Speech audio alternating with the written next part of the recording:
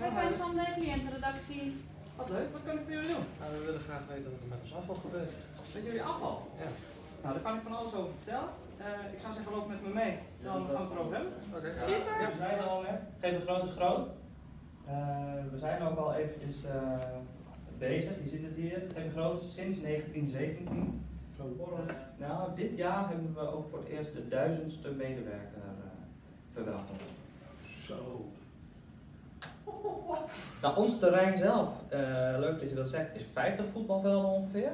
Eh, we hebben de inzameling en recycling, brandstoffen en oliehandel en infra en engineering. Ehm, nou, inzameling en recycling, daar hebben jullie best wel vaak mee te maken. We hebben natuurlijk net al even gekeken naar de, naar de inzamelwagens. En die doen eigenlijk het inzamelen van grondstoffen en in sommige gevallen van afval. Als je kijkt, in het verleden werd er alleen maar iets ingezameld en er werd bijvoorbeeld op een vuilnisbelt gegooid. Ja, of werd verbrand. verbrand. Verbrand, Ja. ja. En in dit plaatje zie je eigenlijk dat we het Van oude dingen nieuwe dingen maken. Exact. Heel goed. Ehm, want het gaat niet zozeer meer om afval, maar het gaat eigenlijk om grondstoffen. En je ziet Ja. ook dat grondstoffen die raken schaars in sommige gevallen.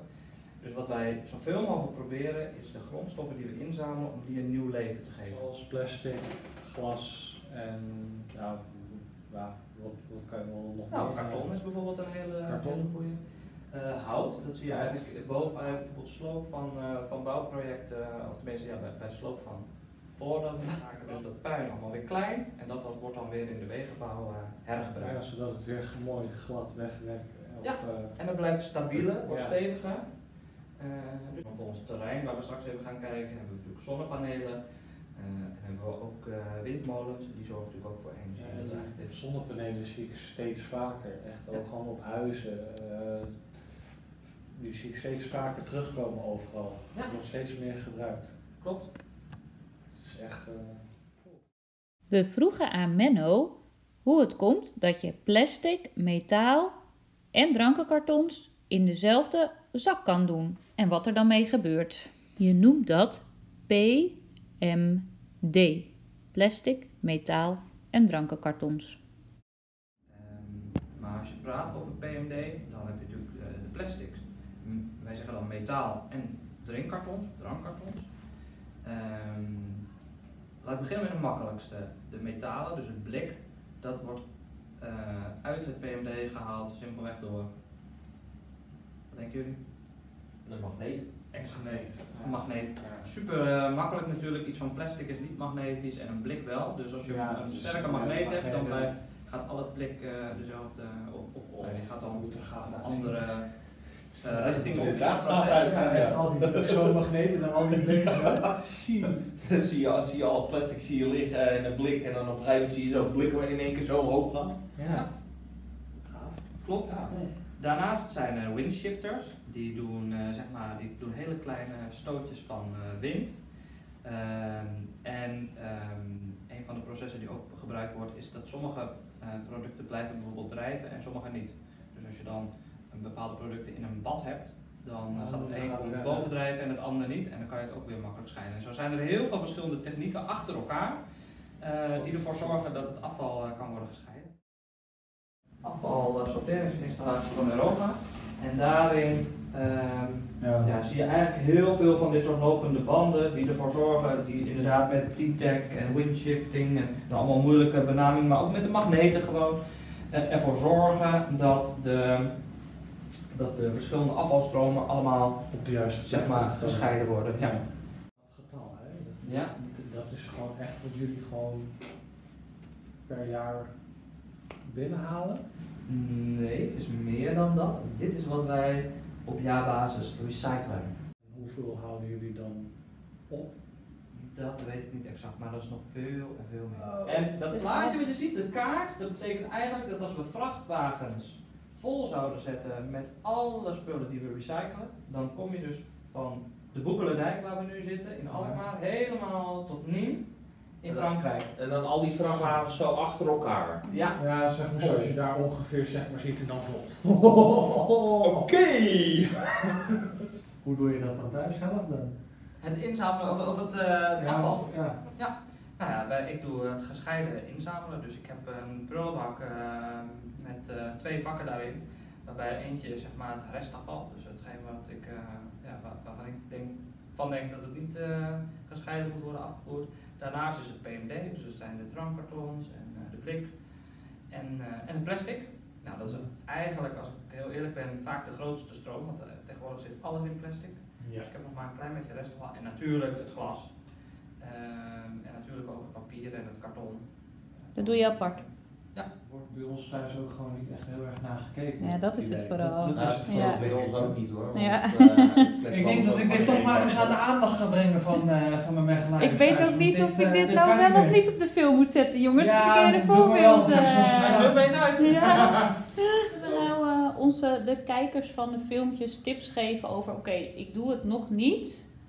eh, maar wat kunnen we als tip geven om het juist wel te doen? Afval inzamelen. Nou, ik denk dat het vooral ook kijken is naar welke bakken eh, het beste in eh, je huis passen. Als je al onze kantooromgevingen ziet, daar staat geen enkele afvalbak. Die staan eigenlijk allemaal bij ons op de gang. Eh, wij zeggen altijd, gek scherend, maak er even een afvalmomentje van. Maar loop gewoon eventjes vanuit je kantoor daar naartoe. En je ziet, zo'n bak is 70 liter, dat kan je in je eentje ook helemaal niet vullen. Nee. Ehm, dus wij hebben ze op centrale punten neergezet. Nou, het is misschien ook wel een leuk idee om als je een hele dag achter de computer zit, dat je gewoon eventjes je Even eruit. Ja. even Ja. eruit bent, Even even een weg scherm. Ja. Ja. Dus een goede tip, zorg voor een centraal punt waar je je afval verzamelt, zodat je niet zelf alles op je kamer hoeft te hebben. Er is bijvoorbeeld een eh, vraag van eh Carolien die vraagt van hoe schoon moeten de eh, verpakkingen zijn die in een plastic bak worden gegooid. Dat is een hele goeie. Want je hebt natuurlijk altijd nog etensresten en alles erin zitten. we praten bijvoorbeeld over PMD-inzamelingen. Ja, ja plastic. Dat klopt. Ehm, nou, je hoeft in principe hoef je niet alles om te spoelen. Maar als je bijvoorbeeld praat over eh, bijvoorbeeld een vleeswarenverpakking, dan is het wel belangrijk dat die leeg is. Eh, dus als je bijvoorbeeld eh, een pakje gehakt eh, hebt, Ja. ja, dat is eh, inderdaad van plastic, maar het gehakt moet er wel echt uit. Eh, voordat je dat, eh Ja, voordat je dat weggooit. Hetzelfde Ja. geldt voor een blik eh, limonade. Als die over datum is, moet je hem wel leeggooien. Eh, maar dat, dat kleine beetje limonade wat er bijvoorbeeld nog in zit, dat is geen probleem. Oké, dus dat hoef je niet echt helemaal grondig te reinigen. En, oké. Nou, dat is hetzelfde als ja, glas, dat maak je natuurlijk stuk, maar die moet ook gewoon leeg zijn. Ja. Ja. Ja. Nou ja. je hebt op plastic flessen heb je ook vaak nog die stickers. Moeten die eigenlijk ook gewoon van tevoren af worden gehaald? Of, of wat wordt daarmee gedaan? Of wordt het gewoon in één keer verwerkt met... opgeven. Ehm, je hoeft hem niet af te halen. Dat is Oké. oké.